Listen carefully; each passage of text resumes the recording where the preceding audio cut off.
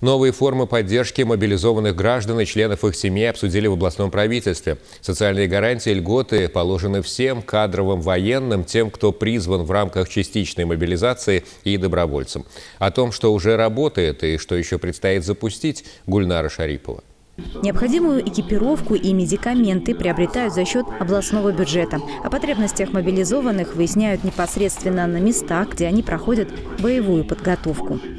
Важнейшее направление межведомственной работы сейчас – это поддержка семей тех, кто был призван для дальнейшего участия в СВО. Все позиции на сегодняшний день, как я докладывал вам, а, уже а, завезены, за исключением двух, которые не производятся у нас. А, мы заказали сидушки и также аптечки. Мы ждем сегодня к вечеру с полным медицинским комплектованием, с подсумком, то есть в, в полном сборе.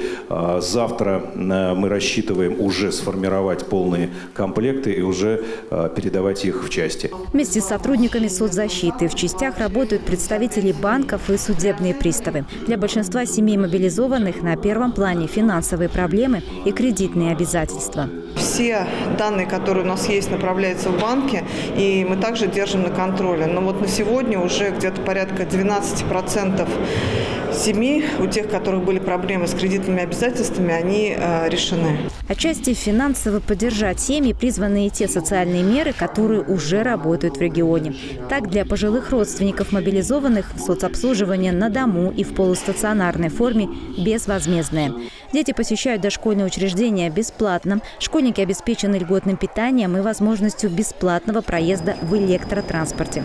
Также все члены семей могут вне очереди пройти лечение в реабилитационных центрах региона, посещать бесплатно школьные кружки доп. образования, учреждения культуры и спорта. Прорабатываются вопросы освобождения мобилизованных от имущественного, земельного и транспортного налогов. Транспортную тему продолжили за обсуждением нынешней тематической недели «Безопасные и качественные автодороги». Общий объем финансирования, предусмотренных в рамках этого национального проекта, более 3 миллиардов рублей. Э, кассовое исполнение на сегодня составляет порядка 80%.